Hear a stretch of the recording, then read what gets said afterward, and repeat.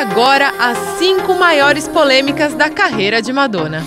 Mesmo com nove Grammys na estante, a mãe de Lourdes Maria não pensa que está com jogo ganho, não.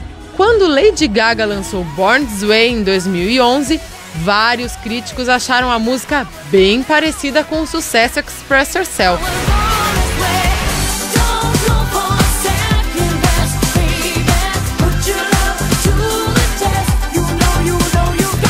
It feels uh, reductive. Is that good?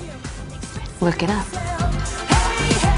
Depois de criticar a versão da colega, Madonna cantou a música em seus shows e ainda mandou em seguida a canção She's Not Me, que quer dizer simplesmente Ela não sou eu.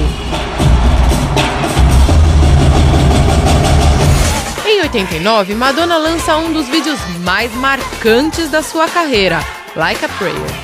A cena em que a cantora dá um beijo num santo negro gerou repercussão e um grupo católico resolveu boicotar a marca de refrigerantes da qual ela era garota propaganda.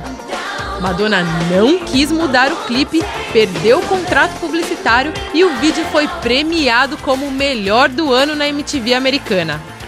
Parece que foi um bom negócio, né?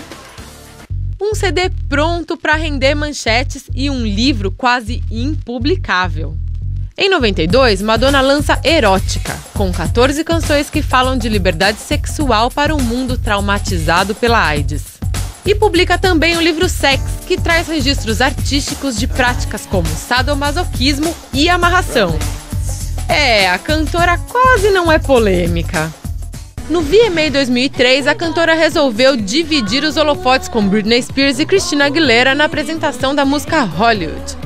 Ao lado das duas vestidas de noivinhas virgens, Madonna realiza o sonho de todo adolescente da época. Dá um beijaço na princesinha do pop.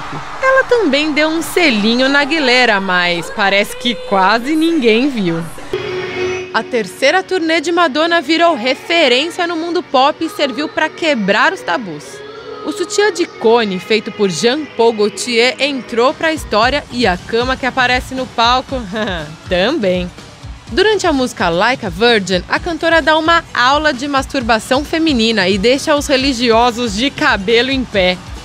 E nem isso fez a diva mudar sua apresentação, não, viu? Essa é uma mulher decidida. Nossa, o clima esquentou aí também ou sou só eu?